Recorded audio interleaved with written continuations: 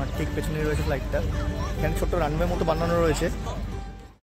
আমার বাঁ পাশে যেটি দেখা যাচ্ছে, সেটি এয়ারক্রাফট মিউজিয়াম এই এয়ারক্রাফট মিউজিয়ামে আসতে গেলে রাজারহাটগামী যে কোনো বাসে করে এসে নামতে হবে বিশ্ব বাংলা গেটে এবং সেখান থেকে পায়ে হেঁটে টাটা মেডিকেলের দিকে দশ মিনিটেই এই এয়ারক্রাফট মিউজিয়ামটি অবস্থিত।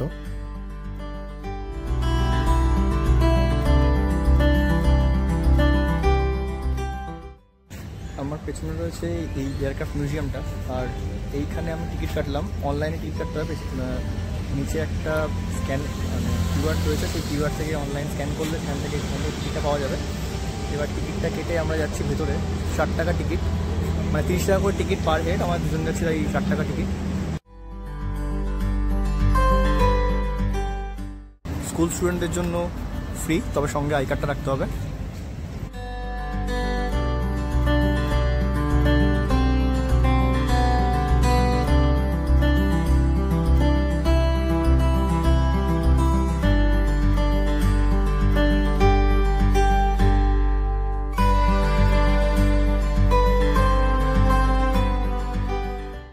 এখানে টিকিটটা যেটা কেটেছি এই টিকিটটা।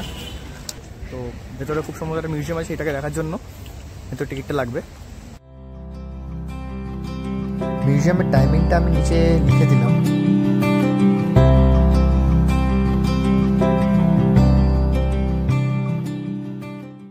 বেসিক্যালি বাচ্চাদের জন্য এই জায়গাটা খুব সুন্দর।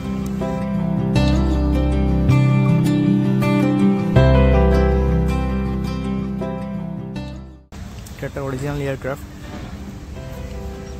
Tupolev one four two M এটা রাশিয়ান এয়ারক্রাফট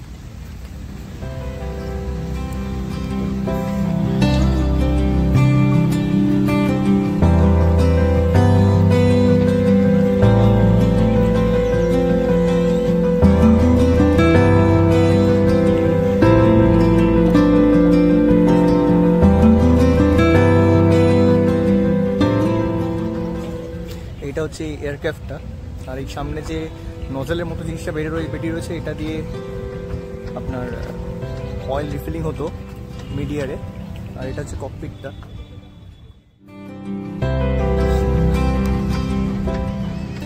দুখানা বড় বড় উইং রয়েছে, আর তার সামনে দুদিকে চারটে প্রপেলার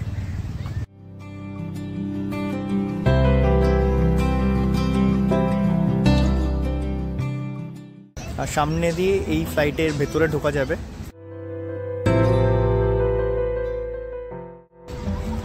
ঠিক পেছনে রয়েছে ফ্লাইটটা এখানে ছোট্ট রানওয়ে মতো বানানো রয়েছে।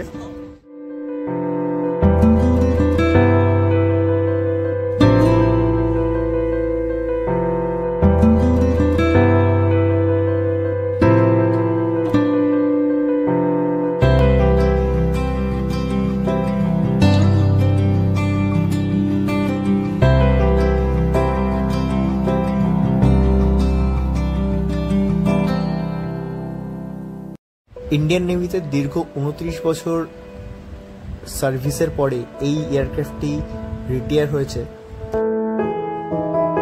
এটি একটি রাশিয়ান এয়ারক্রাফট এটা অ্যান্টি সাবমেরিন ওয়ারফেয়ার এয়ারক্রাফট হিসেবে ইউজ হতো ইন্ডিয়ান নেভিতে এটি কার্গিল যুদ্ধে সার্ভ করেছে ইন্ডিয়ান নেভিকে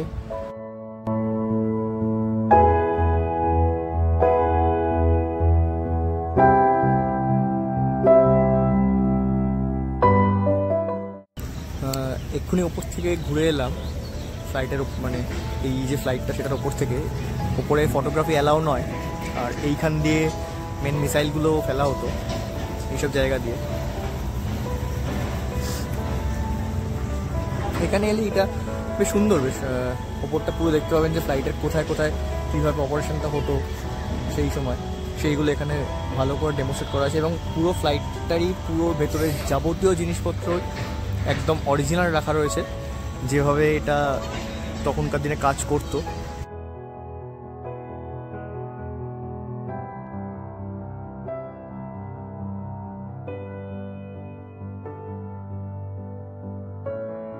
ইন্ডিয়ান নেভিতে সার্ভ করা এইটা সব থেকে বড় এয়ারক্রাফট এটি দৈর্ঘ্যে এবং প্রস্থে প্রায় পঞ্চাশ মিটার।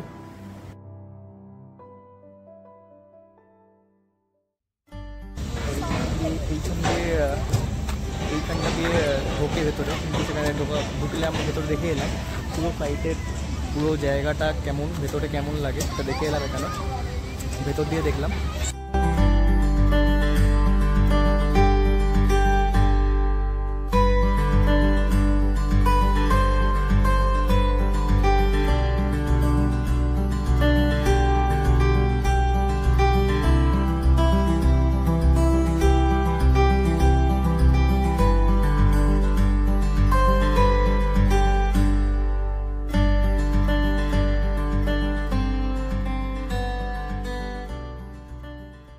ফ্লাইটের এটা হচ্ছে মেন রাডারটা ছিল। এইখানে রাডারগুলো ইনস্টল আছে এর ভেতরে। এইখানে আর এই সামনের জায়গাটিতে। আর এইটা ছিল হচ্ছে কার্গো কম্পার্টমেন্ট এখানে বাইরে লেখাই রয়েছে এটা কী ছিল সেগুলো। আর এই সামনে ছিল হচ্ছে মেন এমার্জেন্সি এক্সিট এইখান দিয়ে মেন এমার্জেন্সি এক্সিট ছিল এটা। এর ঠিক ওপরে পাইলট বসে রয়েছে এবং পিছন দিকে কো পাইলটরা পিছনে রয়েছে। কো পাইলট এবং আরও যে সমস্ত লোক ভেতরে যে সমস্ত টেকনিশিয়ানরা থাকে, তারা পেছন দিকে বসেছে। আর এই সামনেটাতেই জাস্ট রয়েছে পাইলট